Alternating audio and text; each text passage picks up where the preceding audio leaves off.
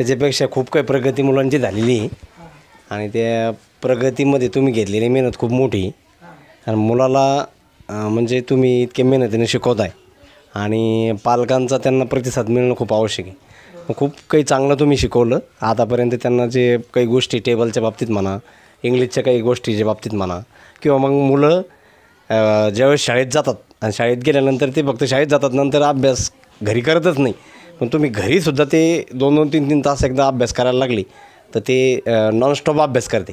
म्हणजे खूप काही प्रगती त्यांच्यामध्ये झालेली आहे. बाबा तुम्ही काय सांगता आता? हो झिरो यायचे साडेपाच वर्षाचं वय आहे त्याचं.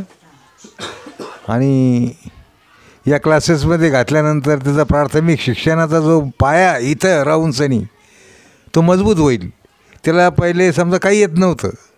ते आता निदान तो पाच एक पाच लोक ए बी सी डी असे जे काही प्राथमिक ज्या गोष्टी असतात तो सध्या म्हणतो आहे आणि घरीसुद्धा तास तास दोन दोन तास अभ्यास करतो आहे त्याच्या बुद्धिमत्तेच्या त्याच्या वयाच्या हिशोबाने थोडा उन्हाळपणा करतो.